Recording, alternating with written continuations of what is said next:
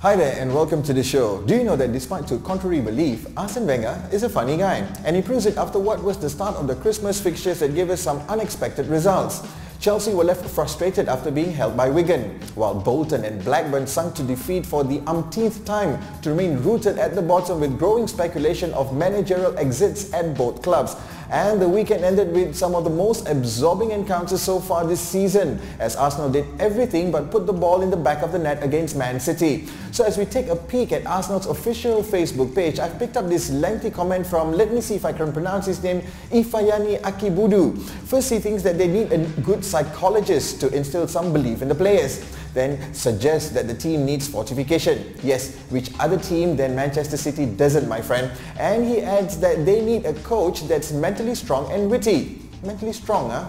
Maybe it was because after the defeat, Arsene Wenger came out to say that the Gunners are out of the title race. But hang on a minute. Despite being French, Wenger is witty. Let's rewind to the start of the season when they weren't doing so well. At the moment it's too early to speak about that. Let's come back to a better distance. Then when Arsenal were on that winning run in October and November, he said this. Look, uh, who would write off a title after nine games? Only uh, people, uh, people who do that have nothing to do in this job.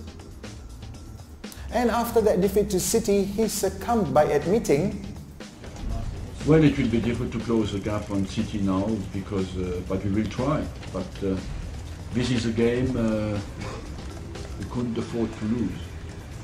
Who says Wenger doesn't provide us with comic relief? Let's just rewind a little further to the start of the season. Remember when Wenger said this?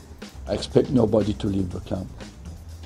He's a funny guy and who knows what he will come up with next. And that will be it for us this year. We will allow the festive run of fixtures to take place and recap how everyone is doing when we resume Hoohaa Sports Day in January 2012. Till then, thanks for your support to all our video features and we hope that you will continue to be with us. So from the team here's wishing you season's greetings, a happy 2012 and do enjoy your football.